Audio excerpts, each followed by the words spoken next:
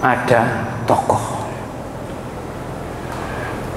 yang mengatakan ya mungkin serius tapi guyon atau sersan serius tapi santai. Allah itu tidak ada. Pernah nonton? Allah tidak ada. Kalau Allah ada mana dalilnya? Di Quran mana? Kan di Quran la ilaha illahu tidak ada Tuhan selain dia la ilaha illa ana tidak ada Tuhan selain saya. Kan itu. Berarti Allah itu tidak disebutkan kalau la ilaha illa mesti hu dan ana. Penjenengan pasti tidak hafal Quran. Kalau hafal Quran pasti tahu bahwa di surat Muhammad ayat 19 ada. Fa'lam annahu la ilaha illallah wastaghfir li dzambika wal mu'minin.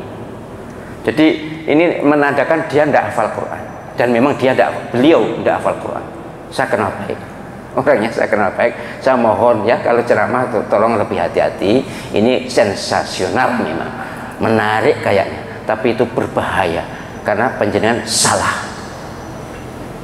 Nanti penjenengan baca surat Muhammad ayat 19 ada itu. La ilaha illallah itu ada. Memang umumnya paling banyak memang la ilaha illahu atau la ilaha illa ana. Berarti Allah tidak ada di kalimat itu. Yes. Tapi ada kalimat la ilaha illallah dalam Al-Quran. Memang itu di surat Muhammad ayat 19 ini tidak boleh untuk guyon ya. Apalagi yang mengatakan Allah eh, kalau itu kafir itu. Allah di, masih dikurung di Ka'bah itu. Itu kafir itu. Moga-moga segera ditangkap. Sangat menghinakan sangat melecehkan. Saya adalah nabi yang ke-26 nabi yang akan mengoreksi ajaran oh, cabul. Nabi yang ke-25 maksudnya adalah Nabi Muhammad SAW moga-moga segera ditangkap dan ditunjukkan pada umat Islam ini adalah keadilan pemerintah. Jelas menghina Islam jelas menghina Nabi jelas menghina Allah SWT kalau masih bebas dia etnis khusus dan agamanya hampir pasti bukan Islam. Bukan hampir sih pasti bukan Islam. Kalau Islam pasti tidak berani bilang begitu jadi jangan diberi contoh ya.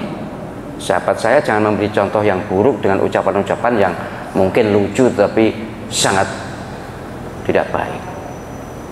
Ya, ya sama dengan agama bukan dari langit ya.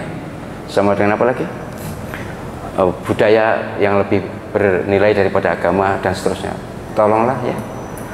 Sebagai tokoh harus lebih berhati-hati dalam mengungkapkan unek-uneknya. Lebih hati-hati dalam mendidik umat supaya tidak terbiasa dengan ungkapan-ungkapan yang membingungkan